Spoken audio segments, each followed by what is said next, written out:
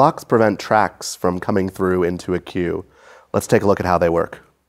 So in the previous example, when we modified channel 8 in Q1, it tracked all the way through all of our cues, including Q7, which is our blackout. So we can use a tool called a block, which will prohibit any changes from coming into a cue that has a block flag on it. So let's look at an example with our blackout.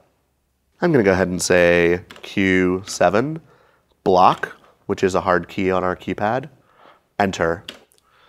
And as soon as I do that, you'll notice that channels 8 and 9, which were tracking through that cue, are now white.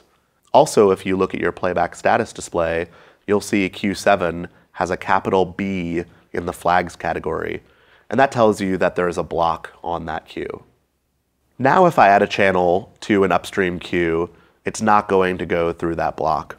So let's go to Q1, enter, and we're gonna go ahead and say 10 at 80% enter.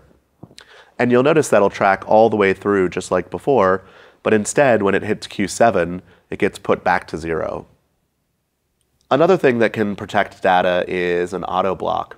And that will protect a move instruction when a level upstream of it matches the value. So let's look at an example of that. With Q1 still highlighted, we're going to go ahead and say channel 4 at 80%, which will match the value in Q2. What happens when I hit enter is that the value is added to Q1, and in Q2, I get a white value of 80 with an underline. And this is just letting me know that I have redundant instructions that are the same value. And if you look in the playback status display, Q2 now has a lowercase b in the flags column with an underline, and that tells me that I have auto blocks that are happening in Q2. If you have auto blocks in your show file, they certainly don't hurt anything if your show is playing fine.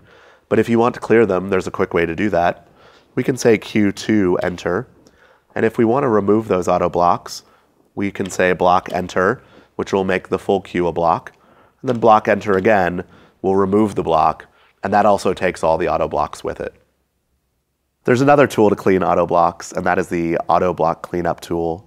And that allows you to clean up not only uh, a cue, but ranges of cues and individual channels.